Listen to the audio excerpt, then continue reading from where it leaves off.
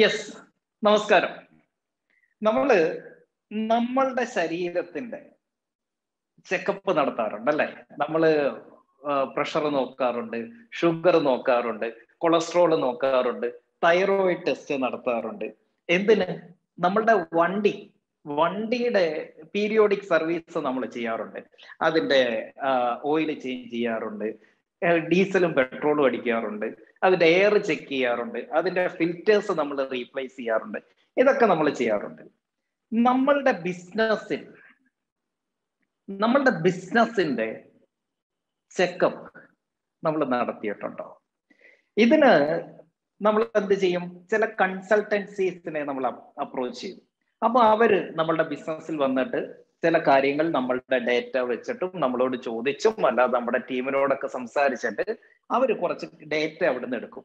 എടുത്തതിന് ശേഷം അവർ കൊണ്ടുപോയിട്ട് കുറെ കാര്യങ്ങൾ അതിൽ നിന്ന് പഠിച്ചിട്ട് അവർ നമുക്ക് ഒരു റിപ്പോർട്ട് തരും. ആ റിപ്പോർട്ടിന്റെ അകത്ത് ഇവിടുത്തെ പ്രശ്നങ്ങൾ ഇവിടെ ചെയ്യേണ്ട പരിഹാരം ഒക്കെ അതിന്റെ അകത്ത് മെൻഷൻ ചെയ്തിട്ടുണ്ടായിരുന്നു ലക്ഷക്കണക്കിന് കോടിക്കണക്കിന് രൂപ കൊടുത്തിട്ടാണ് ഓരോ കൺസൾട്ടൻസിയെ കൊണ്ടും അങ്ങനെ ചെയ്യിപ്പിക്കുന്നത് ഇന്ന് നമ്മൾ നോക്കാൻ പോകുന്ന സാധനം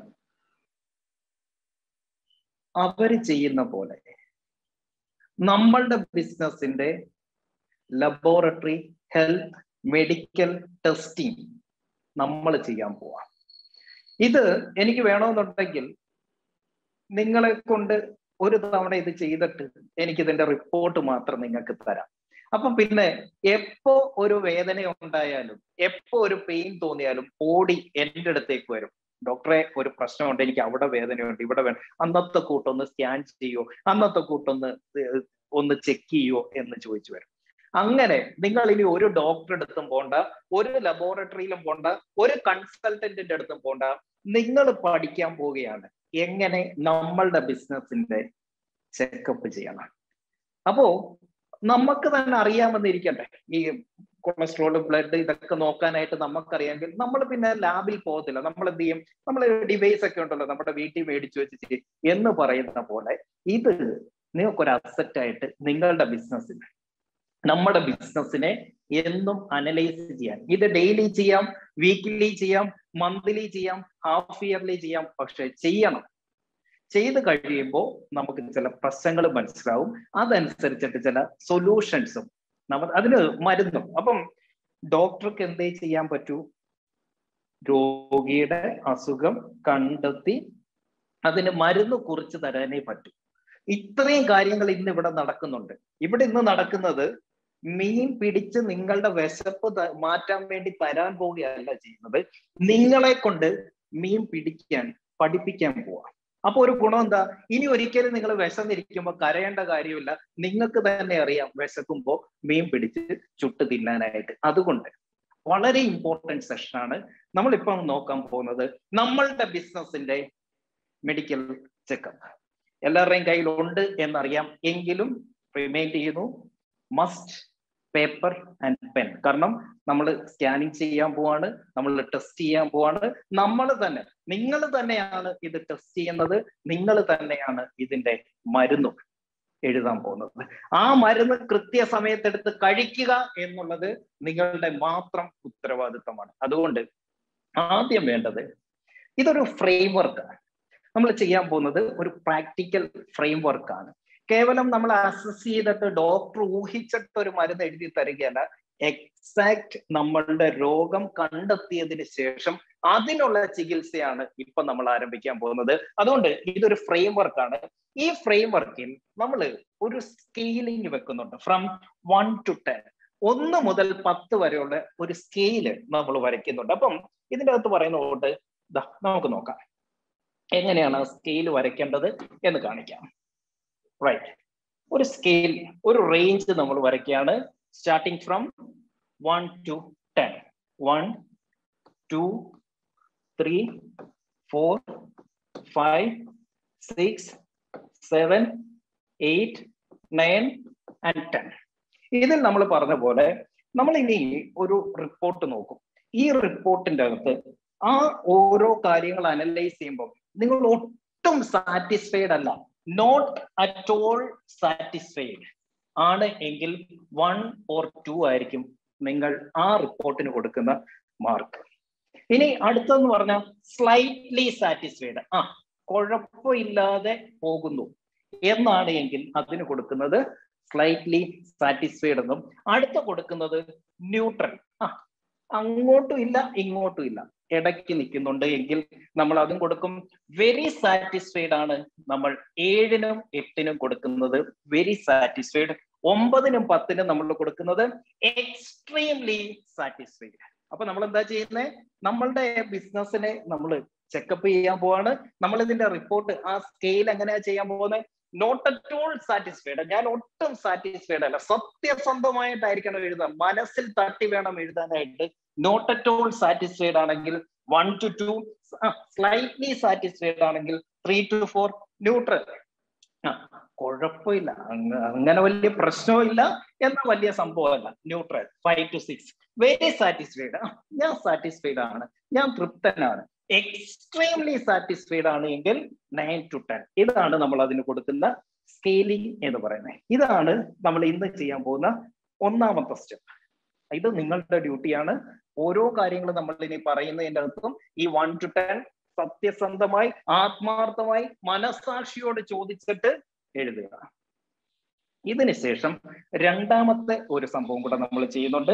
ഇപ്പൊ നമുക്ക് നമ്മളുടെ പ്രശ്നങ്ങൾ ഇതിൽ നിന്ന് മനസ്സിലാവും. എന്തൊക്കെയാണ് നമ്മളുടെ പ്രശ്നം? എവിടൊക്കെയാണ് നമ്മുടെ പ്രശ്നം കിടക്കുന്നത് എന്ന് മനസ്സിലായി കഴിയുമ്പോൾ ഇനി നമ്മൾ എഴുതുന്നത് എന്ന് പറഞ്ഞു കഴിഞ്ഞാൽ നമ്മളുടെ മരുന്നാണ് എഴുതാൻ പോകുന്നത്. മരുന്ന് എന്ന് പറയുന്നത് നീഡ് ടു ബി ഇംപ്രൂവ്ഡ് ഞാൻ ഈ അസുഖം എനിക്കുണ്ട് അല്ലെങ്കിൽ എന്റെ ബിസിനസ്സിലുണ്ട്. ഞാൻ അതുകൊണ്ട് വേണ്ട ഈ കാര്യങ്ങൾ ചെയ്യണം. വൺ ടു ത്രീ മൂന്ന് ആക്ഷൻ പ്ലാൻ ഞാൻ ഈ ആക്ഷൻ എടുക്കണം ഈ ആക്ഷൻ എടുക്കണം ഈ ആക്ഷൻ എടുക്കണം. നമ്മളിപ്പോ അഞ്ച് ടെസ്റ്റിംഗ് ആണ് നടത്താൻ പോകുന്നത് അഞ്ച് ലെവലിൽ നിന്നാണ് നമ്മൾ ഇന്ന് ടെസ്റ്റ് ചെയ്യാൻ പോകുന്നത്. അങ്ങനെ ഓരോ ടെസ്റ്റ് കഴിയുമ്പോഴും നിങ്ങൾക്ക് മൂന്ന് ആക്ഷൻ പ്ലാൻ നമ്മൾ തീരുമാനിക്കും. ആ പറഞ്ഞ എന്തുകൊണ്ടാണ് ഞാൻ ഇവിടെ നിൽക്കുന്നത്? അല്ലെങ്കിൽ എന്തുകൊണ്ട് ഇവിടെ എനിക്ക് ഇവിടുന്ന് ഇവിടേക്ക് എത്തണം? ഇവിടേക്ക് എത്താൻ വേണ്ടിയിട്ട് ഞാൻ എന്തൊക്കെയാണ് ചെയ്യേണ്ടത്? ആ ആക്ഷൻ പ്ലാൻ ആണ് നമ്മൾ ഇവിടെ എഴുതുന്നത്. അപ്പൊ നമുക്ക് അഞ്ച് റിസൾട്ടും കിട്ടും. ഇന്റു ത്രീ ഓരോ റിസൾട്ടിനും മൂന്ന് ആക്ഷൻ പ്ലാൻ വെച്ച് പതിനഞ്ച് ആക്ഷൻ പ്ലാൻ പതിനഞ്ച് കാര്യങ്ങൾ ഇത് നമ്മൾ നടപ്പാക്കാൻ തീരുമാനിക്കുകയും ചെയ്യും അടുത്ത ഒരു മണിക്കൂർ അഞ്ച് സെഷൻ നമ്മൾ അനലൈസ് ചെയ്യും. അഞ്ച് സെഷനിൽ മൂന്ന് വീതം നമ്മൾ ആക്ഷൻ പ്ലാൻ ഇന്ന് തീരുമാനിക്കും. തീരുമാനിച്ചതിന് ശേഷം ഇനി നിങ്ങളുടെ ഡ്യൂട്ടിയാണ് അത് കൃത്യസമയത്ത് ആ മരുന്ന് കഴിക്കുക എന്നുള്ളത്. റൈറ്റ് സോ നമ്മൾ തുടങ്ങിയാണ് നമ്മളുടെ ബിസിനസ്സിൽ എങ്ങനെ ഒരു മെഡിക്കൽ ചെക്കപ്പ് നടത്തണം? അപ്പൊ നമ്മൾ ആദ്യം എന്താ ചെയ്യുന്നത്? നമ്മൾ അഞ്ച് പോയിന്റ് എടുക്കും അഞ്ച് ഡിവിഷൻ എടുക്കും അഞ്ച് രീതിയിൽ അതിനെ അനലൈസ് ചെയ്യും അഞ്ച് രീതിയിൽ അനലൈസ് ചെയ്തിട്ട് ഓരോന്നിനെയും നമ്മൾ സ്കെയിലപ്പ് ചെയ്യും ഓരോന്നിനെയും നമ്മൾ സ്കെയിൽ ചെയ്യും. സ്കെയിൽ ചെയ്തതിന് ശേഷം ഓരോ മേഖലയിലും നമ്മൾ കഴിക്കേണ്ട മരുന്ന് ഏത് എന്നുള്ളത് നമ്മൾ നോട്ട് ചെയ്യാൻ പോവാ. Three area of improvement or action plan ഞാൻ ഇംപ്രൂവ് ചെയ്യേണ്ട? ഈ പ്രശ്നങ്ങൾ ഉള്ളത് പരിഹരിക്കണമെങ്കിൽ ഈ മൂന്ന് കാര്യങ്ങൾ ചെയ്തേ പറ്റൂ. ഇത് ഞാൻ ചെയ്യാൻ പോവാണ് എന്ന് തീരുമാനിക്കുന്ന ആക്ഷൻ പ്ലാൻ ആണ് ആ മൂന്നെണ്ണം. അപ്പോ നമുക്ക് സ്റ്റാർട്ട് ചെയ്യാം. അഞ്ച് ഏരിയ ഓഫ് ഇംപ്രൂവൈസേഷൻ അല്ലെങ്കിൽ അഞ്ച് area of medical checkup in our business ഇതിൽ നമ്മൾ മനസ്സിലാക്കേണ്ട കാര്യം ഇത് നിങ്ങൾ ഇപ്പൊ എഴുതും. ഇവിടെ തന്നെ ഇരുന്ന് നിങ്ങൾ ആ സൊല്യൂഷൻ കണ്ടെത്തും. പക്ഷേ ഇത് നടന്നായിരുന്നെങ്കിൽ കൊള്ളാം എന്ന് ആഗ്രഹിച്ചിട്ട് ഒരു കാര്യമില്ല you have to say I will do this ഞാൻ ഈ പതിനഞ്ച് കാര്യങ്ങൾ നടപ്പാക്കിയിരിക്കും എന്ന തീരുമാനമായിരിക്കണം ഈ സെഷൻ അവസാനിക്കുമ്പോൾ നിങ്ങളുടെ ഭാഗത്തു നിന്ന് ഉണ്ടാകുന്നത് so we are starting with our first checkpoint ആദ്യത്തെ മെഡിക്കൽ ചെക്ക് പോയിന്റ് ആ ടെസ്റ്റിന്റെ പേര് പ്രോഫിറ്റബിലിറ്റി ടെസ്റ്റ് പ്രോഫിറ്റബിലിറ്റി ടെസ്റ്റ് നമ്മുടെ ബിസിനസ്സിനെ ബിസിനസ്സിലെ ഇൻകത്തിനെ നമുക്ക് മൂന്ന് ലെവലിൽ കണക്കാക്കാം. ഒന്ന് റവന്യൂ റവന്യൂ മീൻസ് വിറ്റ് വരവ് total turnover total turnover എനിക്ക് നൂറ് കോടി രൂപയുടെ ബിസിനസ് ഉണ്ടായി കഴിഞ്ഞ മാസം എനിക്ക് പത്ത് കോടി രൂപയുടെ ബിസിനസ് ഉണ്ടായി. രണ്ട് ക്യാഷ് ഫ്ലോ നമ്മൾ വിജയമല്യയുടെ കിങ്ഫിഷർ കേസ് സ്റ്റഡി ഒന്ന് ഓർത്തു. കിങ്ഫിഷർ പൂട്ടുന്ന ദിവസവും വിജയമല്യയുടെ അക്കൗണ്ടിലേക്ക് ധാരാളം പൈസ വന്നുകൊണ്ടിരിക്കുകയായിരുന്നു. കാരണം എന്താ? അവിടെ എന്ത് നടക്കുന്നുണ്ട്? ടിക്കറ്റ് വിൽപ്പന തകൃതിയായി നടക്കുന്നുണ്ട്. ടിക്കറ്റ് വിൽപ്പന ഒരു സൈഡിൽ നടക്കുന്നത് കൊണ്ട് വലിയൊരു ഇൻകം ഒരു സൈഡിൽ നിന്ന് വന്നുകൊണ്ടേ ഇരിക്കുന്നുണ്ട് അപ്പൊ ഇദ്ദേഹത്തിന്റെ വിചാരം എന്താ? ബിസിനസ് ലാഭത്തിലാണ്. അപ്പം ഇദ്ദേഹത്തിന് ഇത്രയും കാശ് ഇങ്ങനെ അക്കൗണ്ടിൽ വരുന്നത് കൊണ്ട് ഇദ്ദേഹം എന്തെടുത്തു? ആ പൈസ എടുത്തുകൊണ്ട് പോയി കുറച്ച് ഐ പി എല്ലിൽ ഇട്ടു കുറച്ച് ചൂതാട്ടത്തിനിട്ടു കുറച്ച് ലണ്ടനിൽ കൊണ്ടുപോയി റിയൽ എസ്റ്റേറ്റിൽ ഇട്ടു. അങ്ങനെ ആ വന്ന പൈസ മുഴുവൻ എടുത്തിട്ട് പല രീതിയിലേക്ക് ഇദ്ദേഹം വിനിയോഗിച്ചു. കിങ്ഫിഷറിന് റവന്യൂ ഉണ്ടായിരുന്നു ഭയങ്കര ടേൺ ഓവർ ഉണ്ടായിരുന്നു ക്യാഷ് ഫ്ലോ ഉണ്ടായിരുന്നു ഇഷ്ടം പോലെ പൈസ വരുന്നുണ്ടായിരുന്നു. But the third thing profit ഈ നടന്ന നൂറ് കോടി ടേൺ ഓവറിൽ ഈ വന്ന നൂറ് കോടി രൂപയിൽ ഇദ്ദേഹത്തിന് അവകാശപ്പെട്ടത് കേവലം ഒരു കോടി രൂപയായിരിക്കാം. അതിന്റെ പേരാണ് പ്രോഫിറ്റ് ബാക്കി തൊണ്ണൂറ്റൊമ്പത് കോടി രൂപയും പെട്രോളിയം കമ്പനികൾക്കും സ്റ്റാഫിന്റെ സാലറിയും ഈ പറയുന്ന എയർപോർട്ട് അതോറിറ്റിക്കും കൊടുക്കാനുള്ള പൈസയാണ്. പ്രോഫിറ്റ് എത്രയുള്ളായിരുന്നു? ഒരു കോടി മാത്രമേ ഉള്ളായിരുന്നു. ഒരു എക്സാമ്പിൾ എടുക്കുകയാണ്. നൂറ് കോടി രൂപയുടെ ടേൺ ഓവർ ഉണ്ടായി. നൂറ് കോടി രൂപ നമ്മളുടെ കയ്യിൽ കിട്ടുകയും ചെയ്തു. പക്ഷെ അതിൽ നമുക്ക് അവകാശപ്പെട്ട പൈസ profit is just a small minute percentage ബാക്കി പൈസ കരക്കാരുടെ പൈസയാണ് സോ നമ്മൾ ഇവിടെ കണക്ക് കൂട്ടാൻ പോകുന്നത്. നമ്മുടെ ബിസിനസ്സിലെ പ്രോഫിറ്റബിലിറ്റി കണക്ക് കൂട്ടാൻ പോവാം. ഇവിടെ നമ്മളിപ്പോ പറഞ്ഞ കിങ്ഫിഷറിന്റെ അകത്ത് കൂട്ട് നിങ്ങൾക്ക് ഭയങ്കര ടേൺ ഓവർ ഉണ്ടായിരിക്കും. അഞ്ചും പത്തും നൂറും കോടി രൂപയുടെ ടേൺ ഓവർ നിങ്ങൾക്ക് നടക്കുന്നുണ്ടായിരിക്കും. ക്യാഷ് ഫ്ലോ ഇട്ട് ഇറക്കുന്ന പൈസ അന്നന്ന് കടയിലേക്ക് തിരിച്ചു വരുന്നുണ്ടായിരിക്കും മറ്റൊരു ബിസിനസ്സിൽ പക്ഷേ what about profit what about profit നമ്മൾ അതുകൊണ്ട് ആ സ്കെയിൽ എടുക്കാൻ പോവാം. One to ten one to ten scale അങ്ങോട്ട് എടുത്തിട്ട് profitability of each product calculate ചെയ്യാൻ പോവാണ്. നിങ്ങളുടെ ഒരു എക്സാമ്പിൾ ആയിട്ട് ഒരു പ്രൊഡക്റ്റ് മാത്രം അങ്ങോട്ട് എടുക്കുക. ആ പ്രൊഡക്റ്റിന്റെ പ്രോഫിറ്റബിലിറ്റി സീറോ ടു ടെൻ എന്ന സ്കെയിലിൽ എഴുതുക.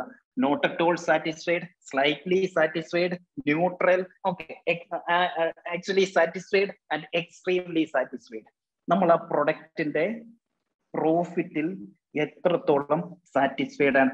റിയാലിറ്റിയിൽ അതിന്റെ ടേൺ ഓവറും അതിന്റെ റവന്യൂ ക്യാഷ് ഫ്ലോ ഒക്കെ അങ്ങ് വിട്ടിട്ട് ഇതിൽ എനിക്ക് എന്തുണ്ട് മെച്ചം? എനിക്കെന്ത് കിട്ടും?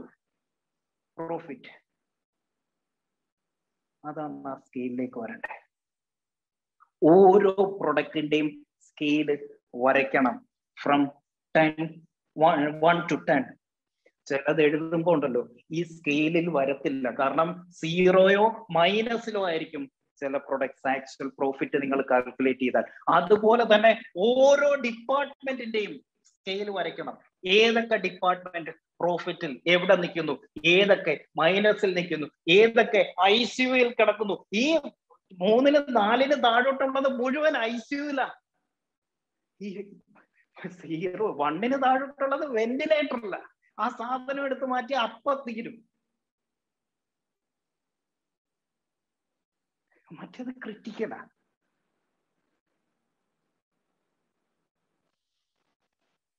ഓരോ ഡിപ്പാർട്ട്മെന്റ് എടുക്കുക. ഓരോ സ്റ്റാഫിന്റെയും പ്രോഫിറ്റബിലിറ്റി കാൽക്കുലേറ്റ് ചെയ്യുക. ഓരോ പ്രൊഡക്റ്റും ഓരോ ഡിപ്പാർട്ട്മെന്റും ഓരോ സ്റ്റാഫ് ഇത് മൂന്നും കൂടെ ചേരുമ്പോഴാണല്ലോ ഒരു ബിസിനസ് ആവുന്നത് ഇപ്പൊ നമുക്ക് ഒരു കേസ് സ്റ്റഡി ആയിട്ട് എടുക്കാം. നിങ്ങളുടെ ബിസിനസ്സിന്റെ ഇപ്പം പ്രൊഡക്റ്റിലോട്ട് സ്പ്ലിറ്റ് ചെയ്ത് പോണ്ട നിങ്ങൾ ഡിപ്പാർട്ട്മെന്റിലോട്ട് ഇറങ്ങിപ്പോണ്ട സ്റ്റാഫിലോട്ട് ഇറങ്ങിപ്പോണ്ട ഇപ്പം നിങ്ങൾ ചെയ്യേണ്ടത് നിങ്ങളുടെ ബിസിനസ്സിനെ സ്കെയിൽ ചെയ്യും. From one to ten one to ten അത് സീറോ ആണെങ്കിൽ സീറോ മൈനസ് സത്യസന്ധമായി ഈ പേപ്പർ നിങ്ങളല്ലാതെ ഈ റിപ്പോർട്ട് നിങ്ങളല്ലാതെ മറ്റൊരാൾ കാണുന്നില്ല. നിങ്ങൾ മാത്രമേ കാണൂ. സത്യസന്ധമായി ആ പേപ്പറിലോട്ട് എഴുത്. നിങ്ങളുടെ ബിസിനസിന്റെ പ്രോഫിറ്റബിലിറ്റി വൺ ടു ടെൻ ഇതിൽ എവിടെ നിൽക്കുന്നു? എഴുതിക്കോ. ഇപ്പൊ എഴുതണം. പിന്നത്തേക്ക് മാറ്റി വെച്ചാൽ കിട്ടില്ല. ഇപ്പൊ എഴുതണം.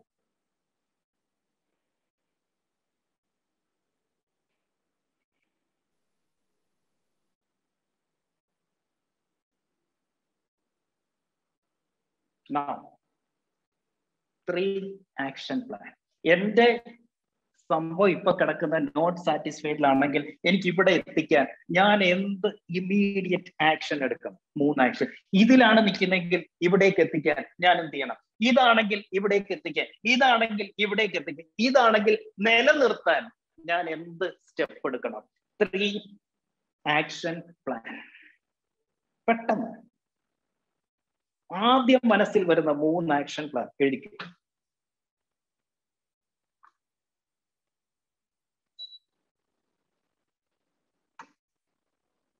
ഞാനിത് പറയുമ്പോൾ ചിലർക്ക് സങ്കടം തോന്നും. ചിലർക്ക് വിഷമം തോന്നും. ഇയാൾ എന്താ എന്നും ഇങ്ങനെ വന്നിട്ട് ഞങ്ങളെ പേടിപ്പിക്കുന്നത് എന്ന് തോന്നും. ഞാനൊരു കാര്യം പറഞ്ഞോട്ടെ. നിങ്ങൾ എനിക്ക് പൈസ തന്നിട്ടുണ്ട്. ദ സെയിൽസ്മാൻ ടീമിലേക്ക് വന്നതിന് നിങ്ങൾ എല്ലാവരും ഒരു ലക്ഷം രൂപ വീതം എനിക്ക് തന്നിട്ടുണ്ട്. പ്ലീസ് മനോ മ്യൂട്ടോൾ കൊടുക്ക്. പ്ലീസ് നിങ്ങൾ എനിക്ക് ഈ പൈസ തന്നിട്ടുണ്ട്.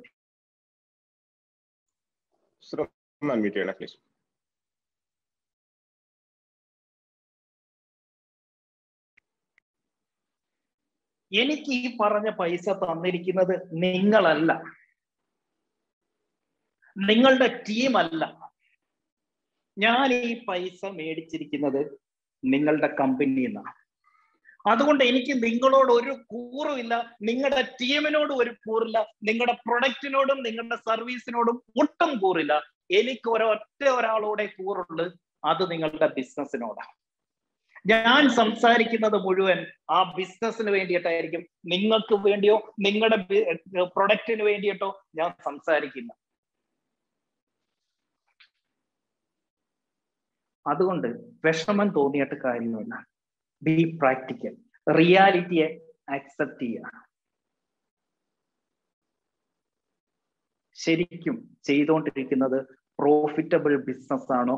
അതോ ചാരിറ്റബിൾ സൊസൈറ്റി ആണോ തീരുമാനിച്ചു എഴുത്ത്. മൂന്ന് ആക്ഷൻ പ്ലാൻ പെട്ടെന്ന്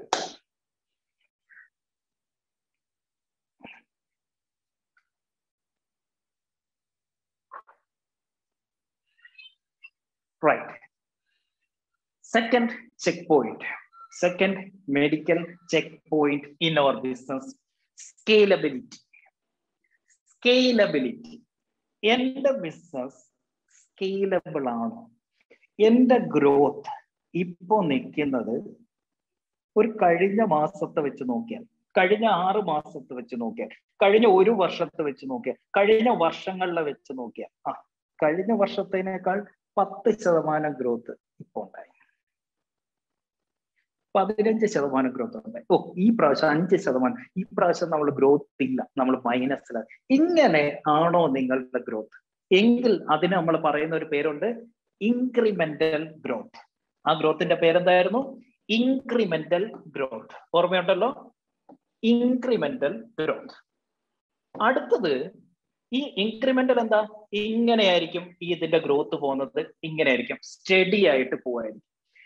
അടുത്ത ഒരു സാധനമുണ്ട്. അതിന്റെ പേരാണ് എക്സ്പോണൻഷ്യൽ ഗ്രോത്ത് ഒറ്റ പിടിയിലാണ് മുകളിലേക്ക്. ഇതാണ് എക്സ്പോണൻഷ്യൽ ഗ്രോത്ത് ഇത് ഇൻക്രിമെന്റൽ ഗ്രോത്ത് സ്കെയിലബിൾ ബിസിനസ് ആവണം എങ്കിൽ ഈ ഇൻക്രിമെന്റിൽ രണ്ട് ശതമാനം അഞ്ച് ശതമാനം പത്ത് ശതമാനം മുപ്പത് ശതമാനം ഇതിൽ പോയാൽ സ്കെയിലബിൾ ബിസിനസ് എന്ന് പറയാൻ പറ്റില്ല.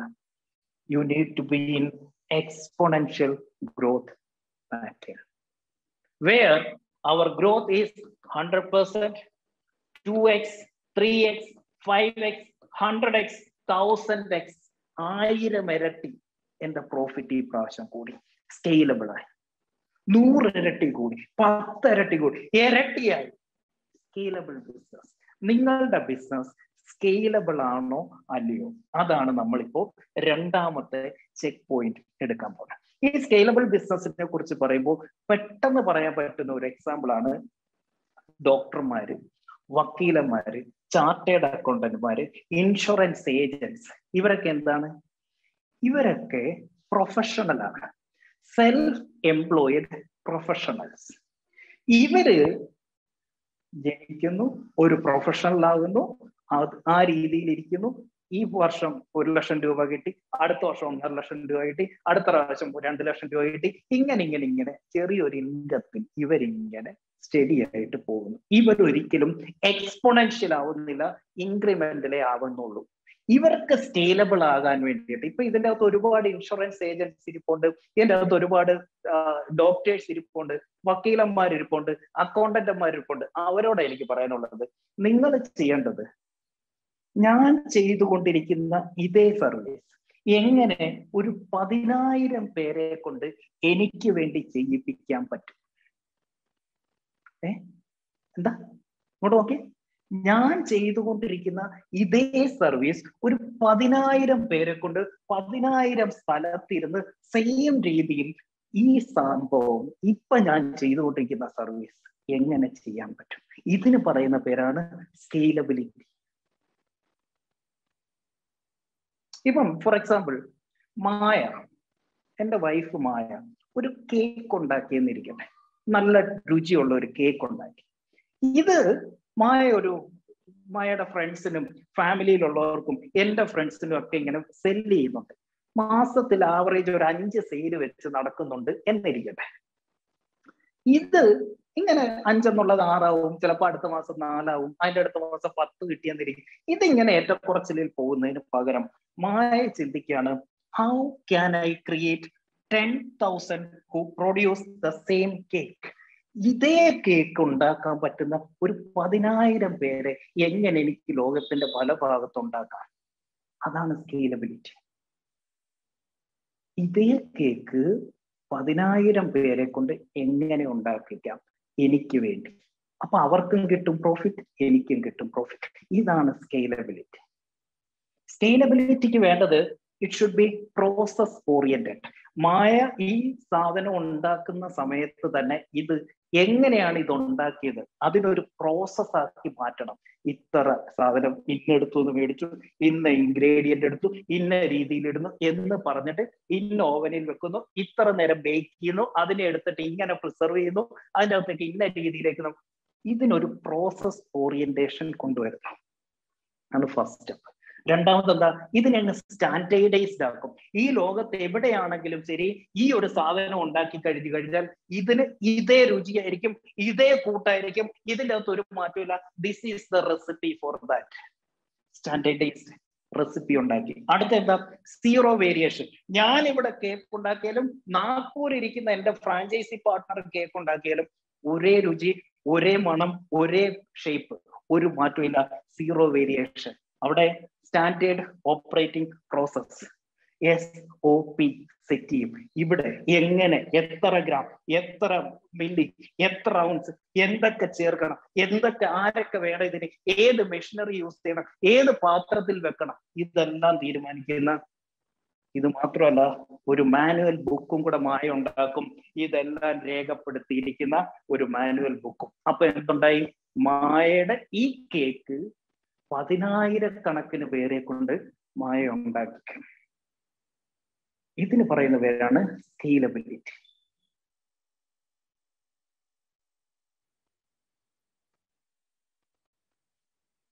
from a scale of one to ten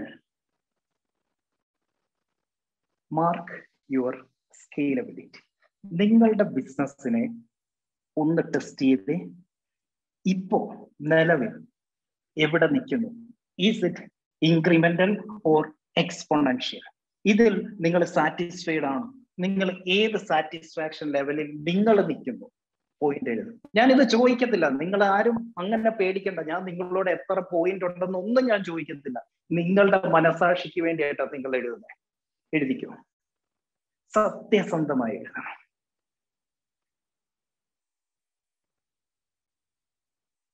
എവിടെ നിൽക്കുന്നു? And now, your medicine. എങ്ങനെ? അടുത്ത ഇത് സ്കെയിലബിൾ ആക്കാൻ ഇമ്മീഡിയറ്റ്ലി ഞാൻ എടുക്കേണ്ട മൂന്ന് ആക്ഷൻ പ്ലാൻ ഞാൻ കഴിക്കേണ്ട മൂന്ന് മെഡിസിൻസ് എന്തൊക്കെ? എഴുതും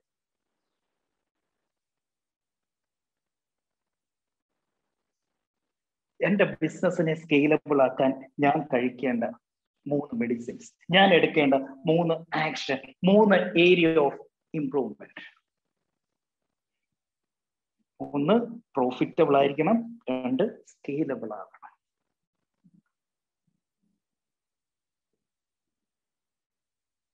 നമ്മുടെ ട്രെയിനിങ്ങിനോട് നീതി പുലർത്തുക എഴുതണം.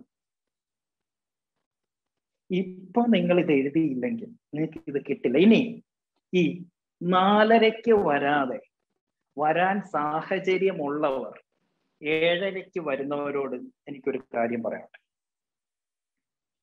ഈ നാലര എന്ന് പറയുന്ന സമയത്തിന് ഒരു പ്രത്യേകതയുണ്ട്. വരാൻ സാഹചര്യം ഉള്ളവരോട് മാത്രമല്ല പറയാം ആ സമയത്ത് കിടന്ന് ഉറങ്ങുന്നവരോട്. നമ്മൾ ഇതേ കാര്യം ഇന്ന് നാലരയ്ക്ക് ഞങ്ങൾ കുറച്ചുപേരിന്ന് വർക്കൗട്ട് ചെയ്തു. ആ സമയത്ത് ഇത് പഠിപ്പിക്കുമ്പോൾ ഈവൻ എന്റെ ഉള്ളിൽ പോലും വരുന്ന ചിന്തകൾ അല്ലെ പറയുന്ന കാര്യങ്ങൾ. അത് ആ സമയത്ത് കുറച്ചു പേര് മാത്രമേ നമ്മളുടെ നാട്ടിൽ ഉണർന്നിരിക്കുന്നുള്ളൂ. ആ ഉണർന്നിരിക്കുന്നവർ തന്നെ കുറച്ച് അവയർനെസ് ലെവൽ കൂടുതലുള്ളവരാ. രക്ഷപ്പെടണമെന്ന് ആഗ്രഹമുള്ളവരൊക്കെ ആ സമയത്ത് എഴുന്നേറ്റ് മെഡിറ്റേഷൻ ചെയ്യും പ്രാർത്ഥിക്കാൻ പോയി പള്ളിയിൽ പോയി ഒക്കെ ചെയ്യുന്നത് ഒരു ഒരു കർമ്മത്തിനോട് നീതി പുലർത്തുന്നു.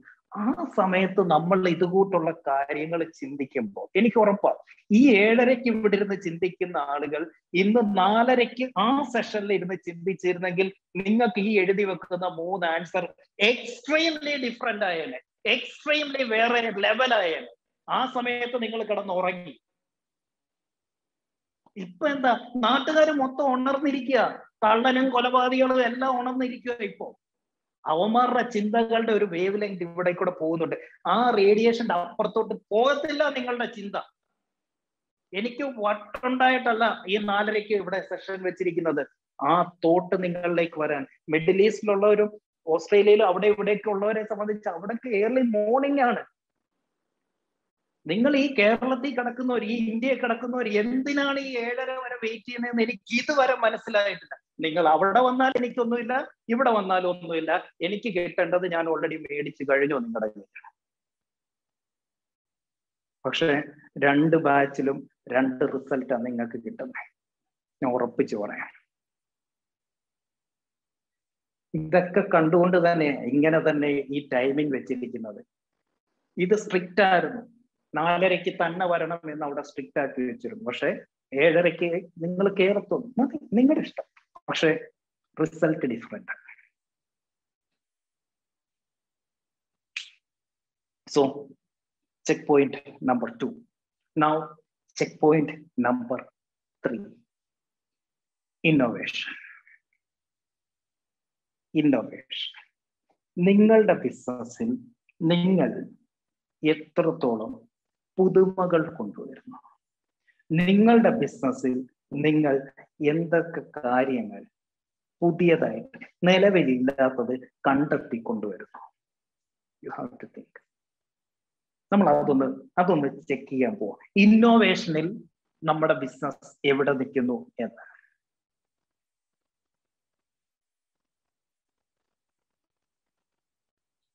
ഇന്നോവേഷൻ എന്ന് പറയുന്നത് ഈ കാശുള്ളവർക്ക് മാത്രം അല്ലെ വലിയ ടീം ഉള്ളവർക്ക് മാത്രം പറഞ്ഞിട്ടുള്ള കാര്യമല്ല. ഏതൊരാൾക്കും ഇന്നോവേഷൻ കൊണ്ടുവരാം. എന്താണ് innovation identify a problem that your customer is struggling to solve by himself ആദ്യത്തെ സ്റ്റെപ്പ് എന്താ? നിങ്ങളുടെ എക്സിസ്റ്റിംഗ് കസ്റ്റമേഴ്സ് അവർ സ്ട്രഗിൾ ചെയ്യുന്ന അവർക്ക് ഒരു ഒരു ഉത്തരം കിട്ടാത്ത അവർ നേരിടുന്ന ഒരു പ്രശ്നം ഐഡന്റിഫൈ ചെയ്യാം. Step number one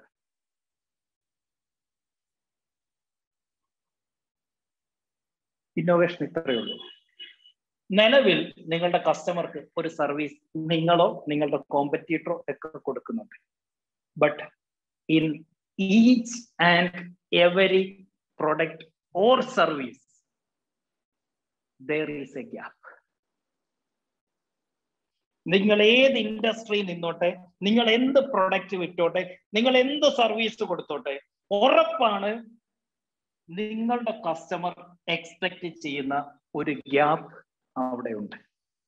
So your task is to find that gap and fill that gap ഇതിന് പറയുന്ന പേരാണ് ഇന്നോവേഷൻ നിലവിൽ കസ്റ്റമർക്ക് കിട്ടിക്കൊണ്ടിരിക്കുന്ന ഒരു സർവീസ് അല്ലെ ഒരു പ്രൊഡക്റ്റിന്റെ അകത്തെ ഗ്യാപ്പ് കണ്ടെത്തി ആ ഗ്യാപ്പ് ഫില്ല് ചെയ്യുന്നതിന് പറയുന്ന പേരാണ് ഇന്നോവേഷൻ അല്ലാതെ ഇത് ഏതാണ്ട്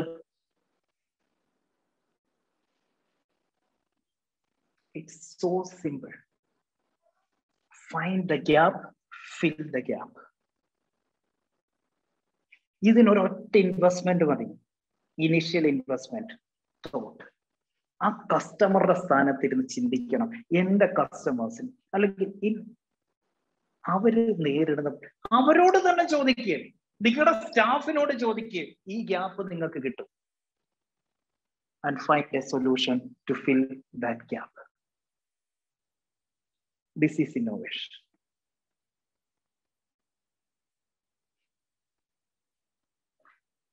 നമ്മൾ കഴിഞ്ഞ ദിവസം പഠിച്ചു. ബ്ലൂ ഓഷ്യൻ സ്ട്രാറ്റജി ഒരു സൈഡിൽ തിമിംഗലങ്ങളും സ്രാവുകളും നമ്മളുടെ വമ്പൻ കോമ്പറ്റീറ്റേഴ്സ് കിടക്കുന്ന ഒരു സ്ഥലം. ഇപ്പുറത്തെ സൈഡിൽ ശാന്തമായി ഒഴുകുന്ന ഒരു നീല നിങ്ങൾക്ക് രണ്ട് ഓപ്ഷൻ ഉണ്ട്. ഒന്നെങ്കിൽ ഇവർ ചെയ്യുന്ന അതേ ബിസിനസ് മോഡൽ കൊണ്ടുവന്നിട്ട് ഇതിന്റെ അകത്തേക്ക് ചാടാം.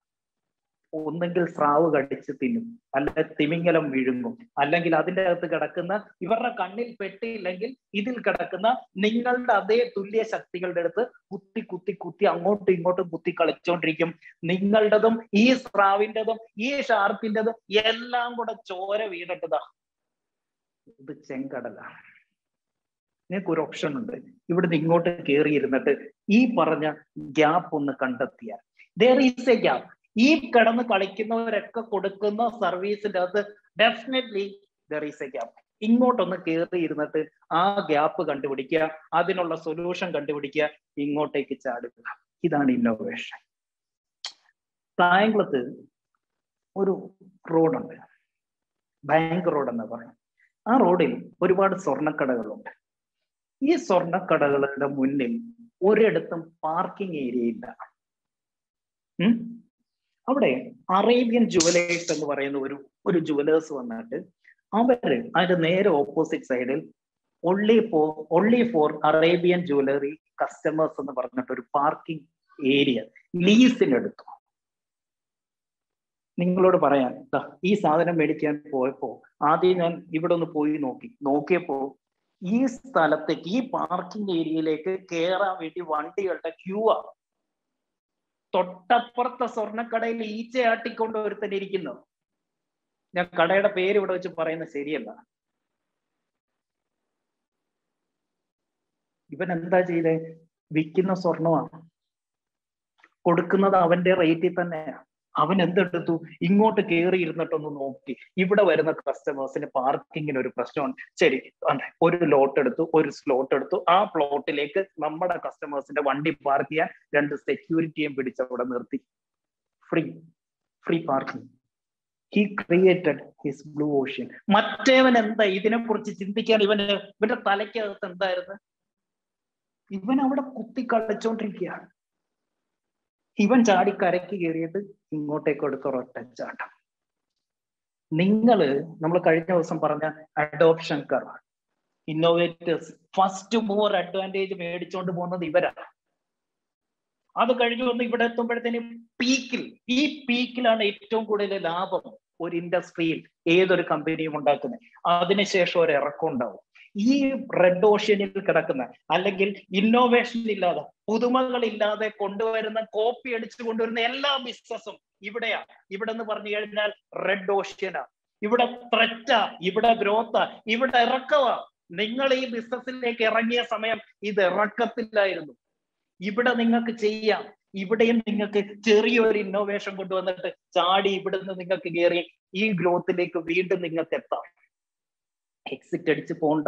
ഒരു ചെറിയ ഇന്നോവേഷൻ ആ കസ്റ്റമർക്ക് ഇപ്പൊ കിട്ടിക്കൊണ്ടിരിക്കുന്ന സർവീസിന്റെ അകത്തോ പ്രൊഡക്റ്റിന്റെ അകത്തോ ഉള്ള അവരുടെ ഒരു ചെറിയ പ്രോബ്ലം പരിഹരിച്ചാൽ പോലും നിങ്ങൾ ഈ സൈഡിലേക്ക് എത്തും. അതിന് പറയുന്ന പേരാണ് സൺറൈസ് ഇൻഡസ്ട്രീസ് ഇത് sunset industries where are you now നിങ്ങളിൽ പലരും ഇവിടെയാണ് നിൽക്കുന്നത് പക്ഷെ നിങ്ങളുടെ ആക്ടിവിറ്റീസ് കൊണ്ട് നിങ്ങളുടെ പഴഞ്ചൻ ചിന്താഗതികൾ കൊണ്ട് നിങ്ങൾ ഇവിടെ കിടക്കുക.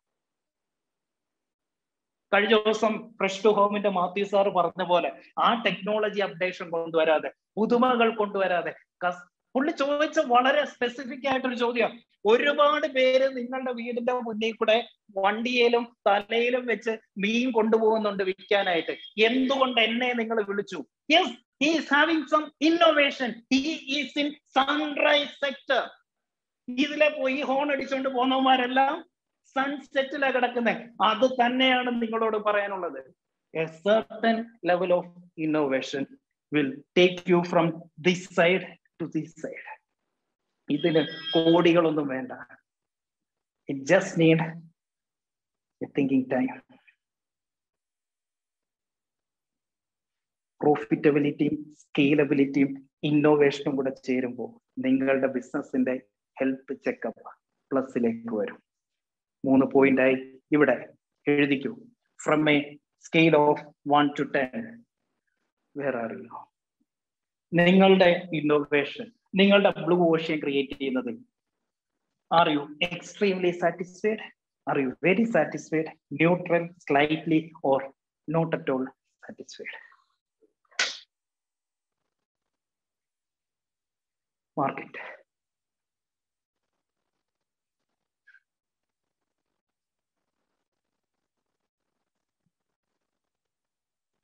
Now, suggest three medicines.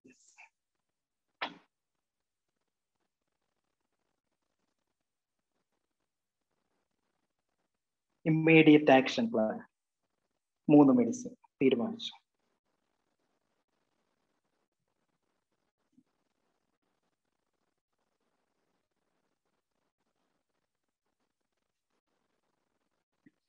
Right Number four of checkpoint entry barrier. Entry barrier. നിങ്ങൾ സൺറൈസിൽ ഒരു ബിസിനസ് ആരംഭിച്ചു നിങ്ങളൊരു ഇന്നോവേഷൻ കൊണ്ടുവന്നു നിങ്ങൾ first mover and fast mover advantage നേടി പ്രോഫിറ്റ് അടിച്ചുകൊണ്ട് നിൽക്കുക ഒരു നിങ്ങളാണ് ഇത് കൊണ്ടുവന്നത് കുറെ പേര് നിങ്ങൾ എന്ത് ചെയ്യുന്നു എന്ന് നോക്കി നിൽക്കുന്നുണ്ട്. കുറച്ച് മിടുക്കന്മാര് കിട്ടുന്ന പ്രോഫിറ്റ് ഒരു പങ്ക് എപ്പോഴും നിങ്ങൾ കൊണ്ടുവരുന്ന സിമിലർ ബിസിനസിന്റെ അകത്തേക്ക് ഇൻവെസ്റ്റ് ചെയ്തുകൊണ്ടിരിക്കുന്നുണ്ട്. ഇവന്മാര് ഗതികേട് കൊണ്ട് എന്തെങ്കിലുമൊക്കെ പുതിയ വേണമെന്ന് പറഞ്ഞിട്ട് ഇവന്മാരും ഇങ്ങോട്ടേക്ക് ഇറങ്ങും. എന്റെ ചോദ്യം ഇതാണ് ചെക്ക് പോയിന്റ് നമ്പർ ഫോർ ഇവിടെ നിങ്ങൾ ഈ കൊണ്ടുവന്ന ഈ ഇന്നോവേഷൻ ഈ സൈഡിൽ നിങ്ങൾ എത്തിക്കഴിയുമ്പോൾ ഇവർക്ക് എത്ര ഈസിയാണ് ഇതിനെ കോപ്പി അടിക്കാൻ? എന്താ എൻട്രി ബാരിയർ നിങ്ങൾ ഇവിടെ എന്ത് വേലിക്കെട്ടാണ് എന്ത് മതിൽക്കെട്ടാണ് ഇവിടെ ഉണ്ടാക്കി വെച്ചിരിക്കുന്നത്?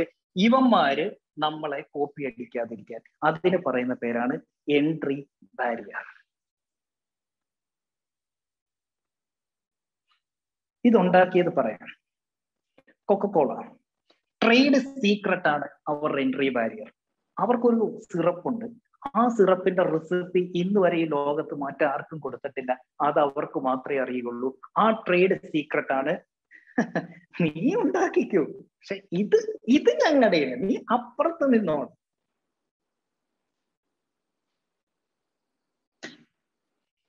കോവിഡിന്റെ വാക്സിൻ കണ്ടെത്തി. ലക്ഷക്കണക്കിന് ലബോറട്ടറീസും മാനുഫാക്ചറേഴ്സും മെഡിസിൻ ഉണ്ടാക്കുന്നവരും വാക്സിൻ ഉണ്ടാക്കുന്നവരും ലോകത്തുണ്ട്.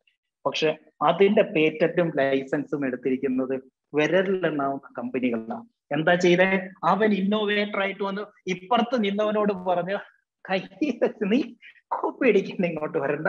അവിടെ ഇരിക്കത്തേ ഉള്ളൂ. എന്താ ചെയ്തേ? Patent and innovation sorry licensing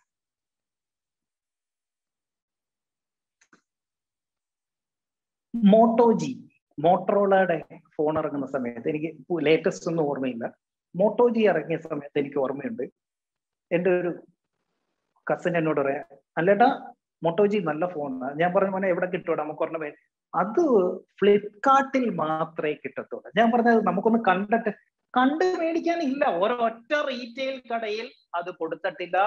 ഇതിന്റെ സെല്ലിംഗ് റൈറ്റ് കൊടുത്തിരിക്കുന്നത് ഫ്ലിപ്കാർട്ടിനാണ് എക്സ്ക്ലൂസീവ് റൈറ്റ്സ് നിനക്ക് ഇത് വേണോ? നീ എന്റെ അടുത്ത് വരണം. മറ്റേമാര് നോക്കി അവിടെ നിൽക്കത്തേ ഉള്ളൂ. ഞങ്ങളുടെ ഏരിയ. എക്സ്ക്ലൂസീവ് റൈറ്റ്സ്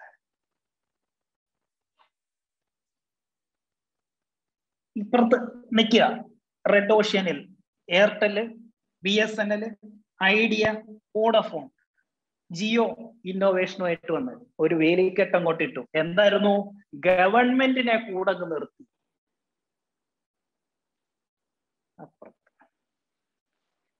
അത് ഞങ്ങൾക്ക് അവകാശപ്പെട്ടതാണ്. ഇപ്പൊ ഇത് കേട്ടോണ്ടിരിക്കുന്നവർക്ക് തോന്നും ആ ഇതുകൂടെ പറയാം. ബിഗ് ബസാർ പോലുള്ള സൂപ്പർ മാർക്കറ്റ് അവർ കൊണ്ടുവന്നിരിക്കുന്ന എൻട്രി ബാരിയർ ഇവരുടെ തൊട്ടടുത്ത് മറ്റൊരു സൂപ്പർ മാർക്കറ്റ് ഉണ്ട്. നമ്മുടെ ഡോക്ടർ ഷാഹുലിന്റെതാണെന്നിരിക്കട്ടെ തൊട്ടിപ്പുറത്ത് ബിഗ് ബസാർ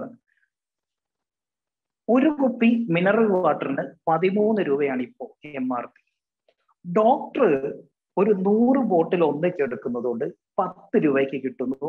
മൂന്ന് രൂപ ലാഭത്തിൽ പതിമൂന്ന് രൂപയ്ക്ക് ഡോക്ടർ കച്ചവടം ചെയ്യുന്നു. ഇവൻ അടുത്ത് കട തുടങ്ങി. ഇവൻ വാങ്ങിക്കുന്നത് ബൾക്ക് പർച്ചേസ് അതുകൊണ്ട് ഇവൻ ഈ സാധനം മൂന്ന് രൂപയ്ക്ക് കിട്ടും. ഡോക്ടർ നൂറെണ്ണം മേടിച്ചപ്പോ ഇവ മേടിക്കുന്ന ലക്ഷക്കണക്കിനാണ് at a single slot purchase ചെയ്യുക. അതുകൊണ്ട് ഇവന് മൂന്ന് രൂപയ്ക്ക് കിട്ടി. ഡോക്ടർ അപ്പുറത്ത് കോമ്പറ്റീറ്റർ വന്നതുകൊണ്ട് പതിമൂന്ന് രൂപയുടെ സാധനം പന്ത്രണ്ട് രൂപയ്ക്ക് കൊടുക്കാൻ തീരുമാനിച്ചു. ഒരു രൂപ ലാഭം വേണ്ടെന്ന് വെച്ചു. ഇവൻ എന്തെടുക്കും മൂന്ന് രൂപയ്ക്ക് കിട്ടിയ സാധന ഓഫർ പ്രൈസ് എട്ട് രൂപയ്ക്ക് കൊടുക്കാൻ തീരുമാനിച്ചു. ഡോക്ടർ ഇവന് പ്രാന്താന്നോട. കാരണം എനിക്ക് കിട്ടുന്നത് പോലെ പത്ത് രൂപയ്ക്ക് അവൻ താണ്ട് എട്ട് രൂപയ്ക്ക് നാട്ടുകാർക്ക് hey economies of scale entry barrier ഡോക്ടർക്ക് എത്ര പാരമ്പര്യം ഉണ്ടെങ്കിലും എത്ര വർഷമായിട്ട് ഇവിടെ സൂപ്പർ മാർക്കറ്റ് നടത്തുന്നുണ്ടെങ്കിലും ഇവിടെ ഒരു എൻട്രി ബാരിയർ ഉണ്ട്. ഡോക്ടറെ അപ്പുറത്ത് ഇവിടെ പന്ത്രണ്ട് രൂപയ്ക്ക് കൊടുക്കുന്ന വെള്ളം അപ്പുറത്ത് എട്ട് രൂപയ്ക്ക് കൊടുക്കുന്നതെന്ന് അറിഞ്ഞാൽ ഡോക്ടറുടെ സ്വന്തം ഭാര്യ ഉൾപ്പെടെ ആ കടയിൽ പോയി വെള്ളം മേടിച്ചു കുടിച്ചിട്ട് ഈ കടയിൽ വന്നിരിക്കും. നാല് രൂപ ലാഭം ഹെൻറി ബാരിയർ ദാഹിച്ച് ചാകാൻ കിടന്നാൽ പോലും ഈ കടയിൽ നിൽക്കുന്ന സ്റ്റാഫ് ഈ കടയിൽ നിന്ന് വെള്ളം കുടിക്കത്തില്ല. ഓടിപ്പോയി അപ്പുറത്തുനിന്ന് വെള്ളം മേടിച്ച് കുടിച്ചിട്ട് ഇവിടെ വരും. Economies of scale entry barrier അപ്പൊ ഇത് കേട്ടോണ്ടിരിക്കുന്നവർക്ക് തോന്നും ഇതൊക്കെ ഞങ്ങൾക്ക് ഇതൊക്കെ വലിയ കാശ് വേണ്ടേ? സച്ചിദാനന്ദൻ സാർ ഇപ്പൊ ഇതിൽ നമുക്കൊരു എക്സാമ്പിൾ എടുക്കാം.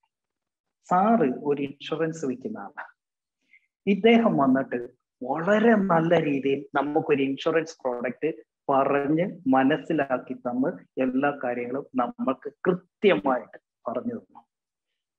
സാർ അങ്ങോട്ട് പോയപ്പോൾ നമ്മൾ പറയാ എന്ന മനുഷ്യനായാൽ എന്ത് സ്പെസിഫിക് ആയിട്ടാ എന്റെ പ്രോബ്ലം മനസ്സിലാക്കിയിട്ട് എനിക്ക് അദ്ദേഹം സൊല്യൂഷൻ എന്നെ എക്സലന്റ് സർവീസ് ആയിരുന്നു എന്നറിയും കഴിഞ്ഞ അഞ്ച് കൊല്ലമായിട്ട് എന്റെ കാര്യങ്ങൾ ഒരു ദിവസം പോലും മുടങ്ങാതെ എന്റെ കാര്യങ്ങൾ കൃത്യമായിട്ട് അദ്ദേഹം ടേക്ക് കെയർ ചെയ്യുന്നുണ്ട്.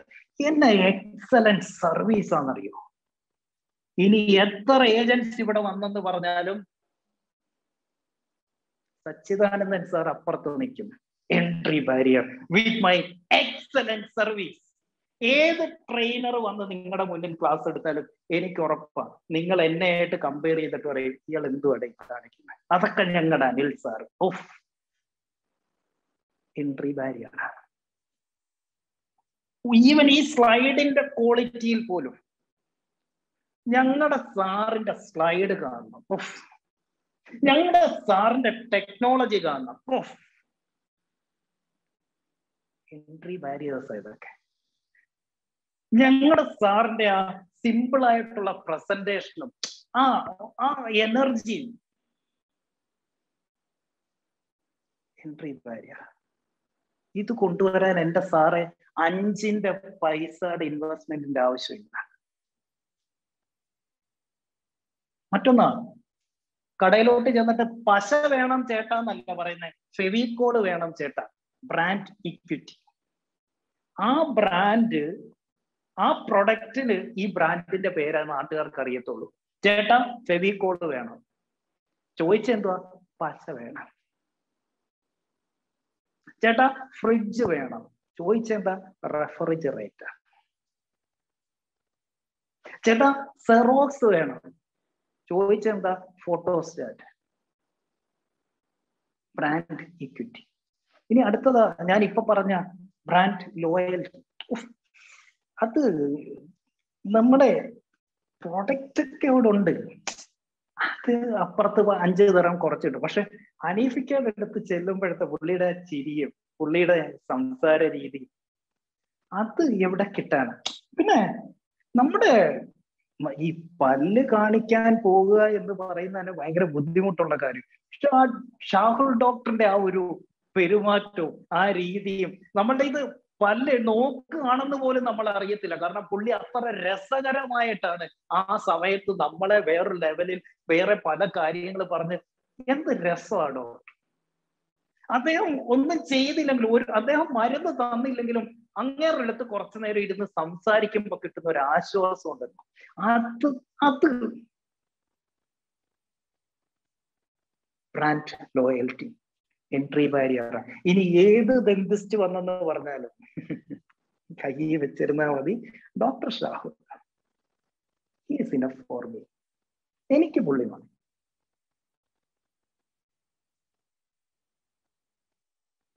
On a scale of 1 to 10 what is your entry barrier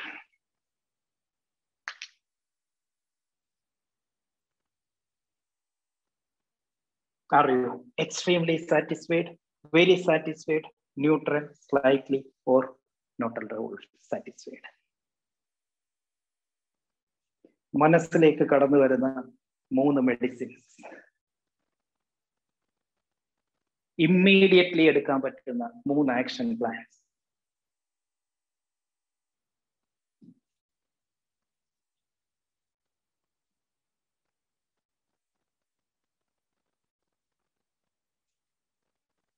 Number five,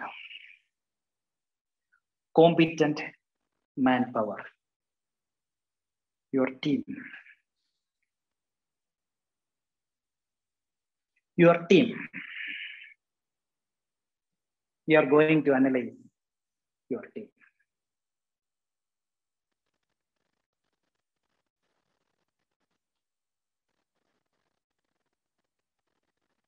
എനിക്ക് സിമ്പിൾ ആയിട്ട് പഠിപ്പിക്കാനുള്ള ഒരു കഴിവുണ്ട്.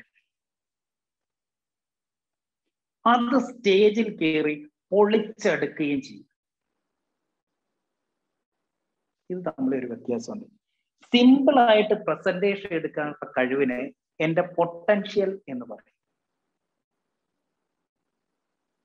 എനിക്ക് കഴിവുണ്ട്.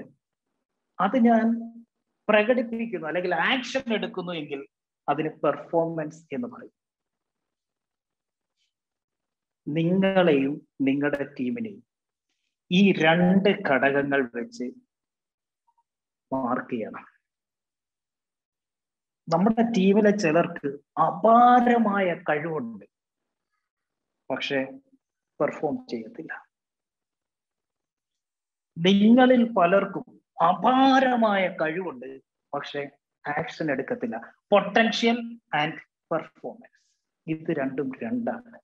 അതുകൊണ്ട് നമ്മളുടെ സ്റ്റാഫിന്റെ ഓരോ ആളിന്റെയും കളരിയം എടുത്തിട്ട് സ്പെസിഫിക് ആയിട്ട് നിങ്ങൾ സ്കെയിൽ ഉണ്ടാക്കണം. From one to ten not at all satisfied slightly neutral extremely ഈ രീതിയിൽ നോക്കിയിട്ട്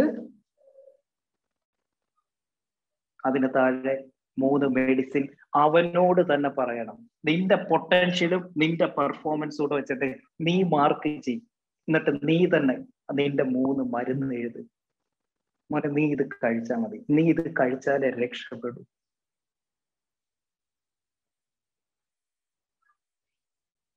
നമ്മൾ എന്താ പറഞ്ഞേ? പൊട്ടൻഷ്യൽ ആൻഡ് പെർഫോമൻസ് ഇതേ സാധനം നിങ്ങളുടെ ടീമിലെ ഓരോ വ്യക്തിയെ വിളിച്ചിട്ട് അവനെ ഈ മൊത്തം അഞ്ച് പോയിന്റ് ഒന്നും പറയണ്ട. അവനോട് അത്രയൊന്നും പറഞ്ഞ് കേറത്തില്ല അവന്റെ തന്നെ ആദ്യം നിങ്ങളുടേത് നിങ്ങൾ എഴുതുക. എന്റെ പൊട്ടൻഷ്യൽ എന്ത്? എന്റെ പെർഫോമൻസ് എന്ത്? ആം ഐ സാറ്റിസ്ഫൈഡ് നിങ്ങളുടെ സ്കെയിൽ നിങ്ങൾ വരയ്ക്കുക. നിങ്ങളുടെ മെഡിസിൻ നിങ്ങൾ എഴുതുക. ആ മരുന്ന് കൃത്യമായിട്ട് കഴിക്കുക. കഴിച്ചതിന് ശേഷം നീ നിന്റെ ടീമിനോട് പറയുക മോനെ എനിക്കും ഇതുകൊണ്ടുണ്ടായിരുന്നു ഞാൻ താണ്ട് ഇന്ന മരുന്ന് കഴിച്ചപ്പോ എന്നിലുണ്ടായ മാറ്റം കണ്ടോ? നീ എഴുതിക്കോ. എന്താ നിന്റെ മൂന്ന് മരുന്ന്? നീ എഴുത.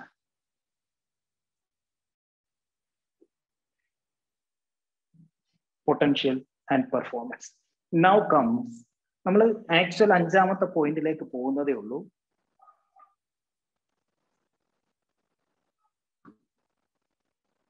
നമ്മുടെ ബിസിനസ്സിലെ മാൻ പവറിന്റെ പൊട്ടൻഷ്യാലിറ്റി നമ്മൾ മനസ്സിലാക്കുക എത്രത്തോളം ഇവർ ഹെൽപ്ഫുൾ ആണ് നമുക്ക്.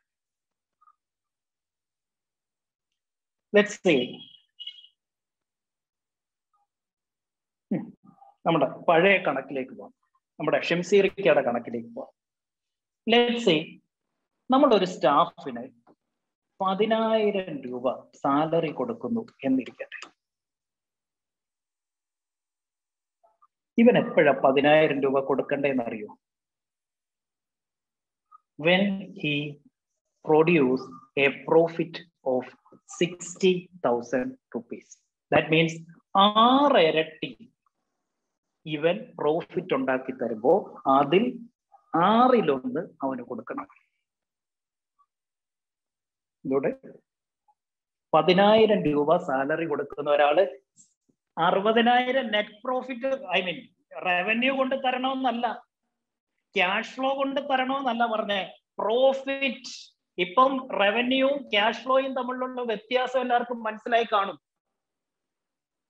കിങ്ഫിഷർ ഓർത്താ മതി. വിജയമല്യ ആകാതിരിക്കണമെങ്കിൽ അവൻ പ്രോഫിറ്റ് അറുപതിനായിരം കൊണ്ട് തരുമ്പോ അവൻ അതിന്റെ ആറിലൊന്ന് കൊടുക്കാം. സിക്സ് ഈസ് ടു വൺ ഇനി അവൻ അറുപത്തി ആറായിരം കൊണ്ട് തന്നു.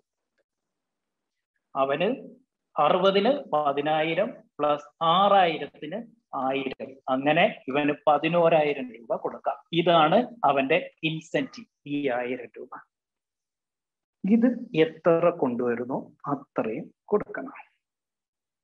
ഇനി നിങ്ങളുടെ ബിസിനസ്സിൽ ഒരു മാസത്തെ ടോട്ടൽ എക്സ്പെൻസ് ടു ലാക്ക് ആണ് എന്നിരിക്കട്ടെ. ഈ ടു ലാക്ക് എക്സ്പെൻസ് ഒരു ബിസിനസ്സിന് മീറ്റ് ചെയ്യാൻ പറ്റുന്നത് എപ്പോഴാണെന്നറിയോ? പന്ത്രണ്ട് ലക്ഷം രൂപ ടോട്ടൽ പ്രോഫിറ്റ് ഉണ്ടാക്കുമ്പോൾ നിങ്ങൾക്ക് ഇതിൽ നിന്ന് ടു ലാക്ക് വിഡ്രോ ചെയ്ത് എക്സ്പെൻസ് ആയിട്ട് മാറ്റാം. ബാക്കി ടെൻ ലാക്സ് ഈ ടു ലാക്കിൽ നിങ്ങളുടെ സാലറി ഉൾപ്പെടെ ഉണ്ട്. ഇനി കഴിഞ്ഞ ദിവസം ഫ്രഷ് ടു ഹോം മാത്യു സാറിന്റെ അടുത്ത് ഒരു ചോദ്യം ഇതിൽ ആരൊക്കെയോ ചോദിച്ചു. എങ്ങനെ നമ്മളുടെ സാലറി കാൽക്കുലേറ്റ് ചെയ്യും? നിങ്ങൾ ഈ ബിസിനസ്സിന് ഒരു ലക്ഷത്തി ഇരുപതിനായിരം രൂപ പ്രോഫിറ്റ് ഉണ്ടാക്കി തന്നെങ്കിൽ നിങ്ങളുടെ പൊട്ടൻഷ്യലും പെർഫോമൻസും വെച്ചിട്ട് നിങ്ങൾ ഒരു ലക്ഷത്തി ഇരുപതിനായിരം രൂപ പ്രോഫിറ്റ് ഉണ്ടാക്കി തന്നെങ്കിൽ ഇരുപതിനായിരം രൂപ സാലറി എടുക്കാം. Which is included in this ബാക്കി ടെൻ ലാക്സ് ഉണ്ടല്ലോ. കഴിഞ്ഞ ദിവസം ഒരു മെട്രിക്സ് വരച്ച് ഓർക്കുന്നോ? ബി സി ജി മെട്രിക്സ് ഈ ടെൻ ലാക്ക് കൊണ്ടുപോയി അതിൽ ഇൻവെസ്റ്റ് ചെയ്യണം. ഏതിൽ? ബി സി ജി മെട്രിക്സിൽ മാർക്കറ്റിന്റെയും പ്രൊഡക്റ്റിന്റെയും ഗ്രോത്ത് നിൽക്കുന്ന ആ പ്രൊഡക്റ്റിൽ കൊണ്ടുപോയി ആ ബിസിനസ്സിൽ കൊണ്ടുപോയി ഇൻവെസ്റ്റ് ചെയ്യണം. വീട്ടിൽ കൊണ്ടുപോകാനുള്ള പൈസ അല്ല ഇത്. നിങ്ങൾക്ക് വീട്ടിൽ കൊണ്ടുപോകാനുള്ള പൈസ നിങ്ങൾ ഉണ്ടാക്കി തന്നതിന്റെ ആറിലൊന്ന്. ഇത് ഇവന് മാത്രമല്ല ബാധകം ഇത് ഇവന് മാത്രമല്ല ബാധകം നിനക്കും ബാധകമാണ്.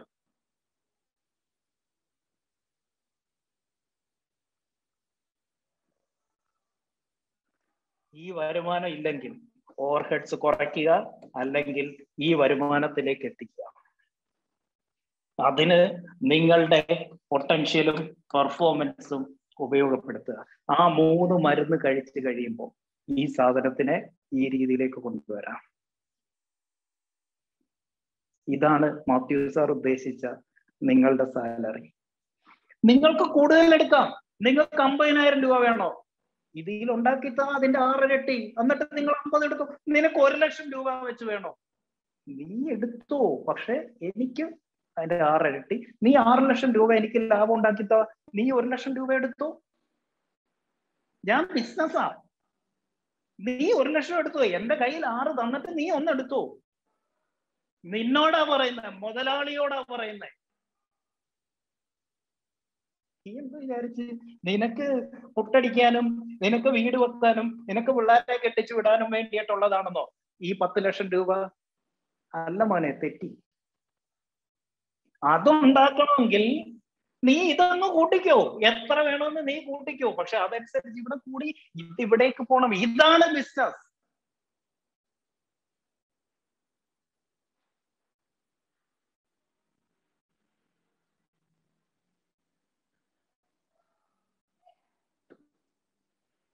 Now, come to scale. ഇതിൽ എത്ര പേര്? ഈ പറഞ്ഞ രീതിയിൽ ഇൻവെസ്റ്റ്മെന്റിന് ഉൾപ്പെടെ എടുക്കാൻ പറ്റുന്ന ഒരു നയൻ ടു ടെൻ ഇടുക. അത്യാവശ്യം നിങ്ങളുടെ സാലറി ഇതിന് പറഞ്ഞ പേര് സാലറി ജസ്റ്റിഫിക്കേഷൻ ഓവർഹെഡ്സ് ജസ്റ്റിഫിക്കേഷൻ ഇതിൽ എത്ര പേര്? കയ്യിൽ നിന്ന് സാലറി കൊണ്ടുവന്ന് കൊടുക്കുന്നുണ്ടെങ്കിൽ പുറത്തു നിന്ന് കടം വാങ്ങിച്ച് കൊണ്ടുവരുന്നുണ്ടെങ്കിൽ ഇതിനും താഴെ മൈനസിലാ നീ. നിനക്ക് ഈ സ്കെയിലിൽ പോലും തൊടാൻ അവകാശമില്ല. നീ മൈനസില്ല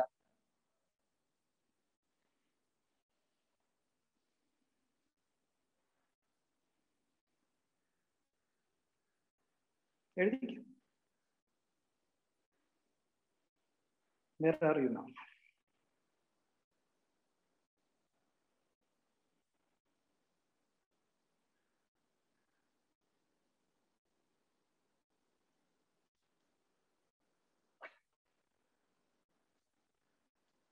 three medicines.